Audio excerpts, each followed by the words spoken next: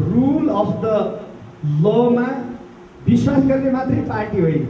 बरु नेपाली काङ्ग्रेस विधिको शासन स्थापना गर्नका लागि जन्मदेखि आजसम्म लडिराखेका पार्टी। झन्डै सत्र सत् दशक लामो इतिहासमा नेपाली काङ्ग्रेस विधिकै शासनका निमित्त लडेको पार्टी हो र नेपाली काङ्ग्रेस सबैभन्दा ज्यादा विधिको शासनमा विश्वास गर्छ।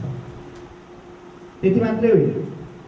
नेपाली काङ्ग्रेस स्वतन्त्र निष्पक्ष र मर्यादित न्यायपालिकाको पक्षमा छ र रहिरहन्छ नेपाली काङ्ग्रेस अदालतलाई मान्ने अदालतलाई सम्मान गर्ने पार्टी।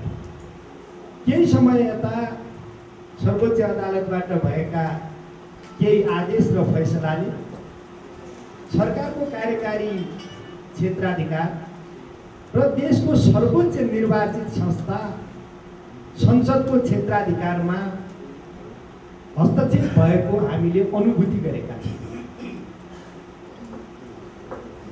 हामी अहिले स्थानीय तहको निर्वाचनमा केन्द्रित छौँ।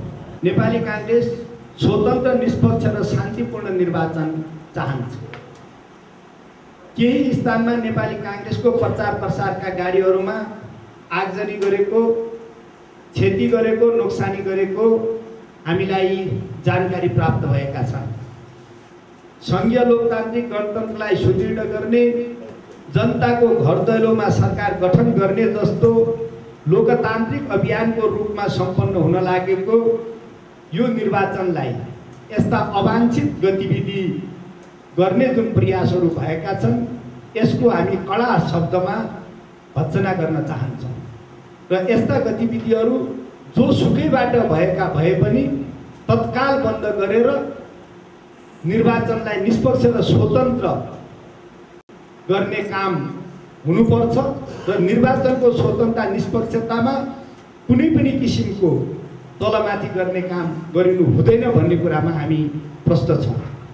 र हामी के पनि आग्रह गर्न चाहन्छौँ भने यस्ता घटनाले नेपाली काङ्ग्रेस कदापि विचलित हुँदैन बरु हामी थप सुदृढताका साथ निर्वाचनको अभियानलाई अगाडि बढाइराखेका छौँ र जनताका बिचमा यस्ता खालका गतिविधिहरू आफै आलोचनाका विषय बन्छन् र यसले नेपाली काङ्ग्रेस विचलित हुँदैन यस थप ऊर्जाका साथ नेपाली काङ्ग्रेस अगाडि बढ्छ।